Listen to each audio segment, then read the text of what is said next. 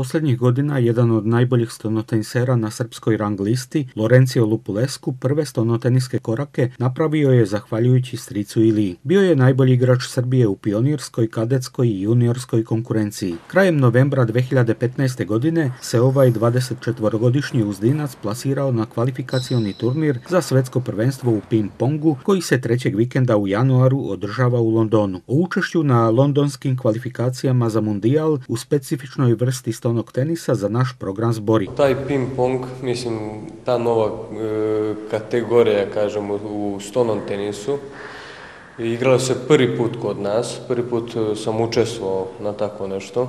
Stric je pred toga na tri svjetska prvenstva učestvovao, onda je bio drugi na svetu, bio je treći na svetu, prošle godine je ispo među 16, što znači da sve jače i jače je konkurencija u tom ping-pongu. I ove godine sam bio kod nas na kvalifikacije u Beogradu, bio sam drugi, tako da očekujem, jer imam tamo predkvalifikacije, imam dan pre toga da odigram predkvalifikacije, da bi se plasirao na to svetsko prvenstvo u Londonu.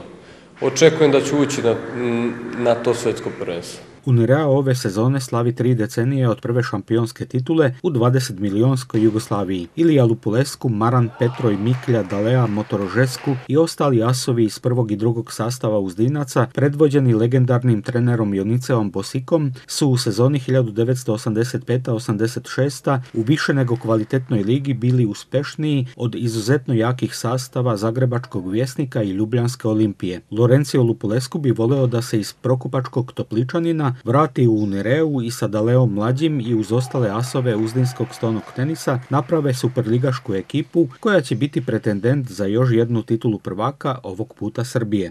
Ja bih volio da se vratim u Unireu, sljedeće godine da im pomognem da ulaze u Superligu, jer ove godine je malo teže, jer dosta jakih ekipa ima. Ako se ja vratim, najvjerovatnije ćemo se podići u tu Superligu i onda pravimo neku ekipu za titul za dve, tri godine. Lorencio je ubeđen da pojačani i za godinu dana iskusniji sastav devojaka Unire u drugoj sezoni može da bude početkom maja 2016. godine u finalu play-offa Superlige Srbije. Naravno da su i spremni, spremni i fizički i psihički, što je najbitnije. Treniramo ovde svako veče i to pun, punom parom.